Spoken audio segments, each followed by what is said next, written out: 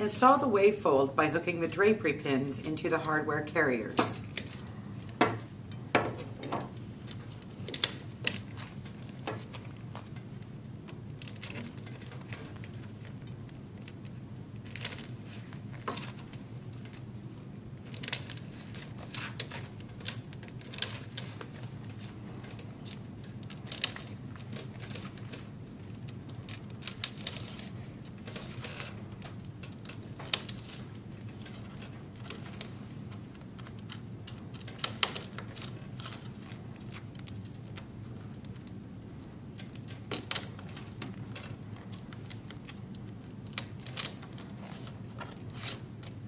Next, set the folds by forming an S shape in the drapery header.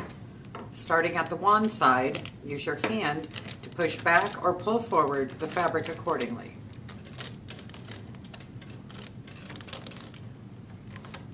You are now ready to operate your drapery. Use the wand to open and close, and notice that your folds will stay perfectly set each time.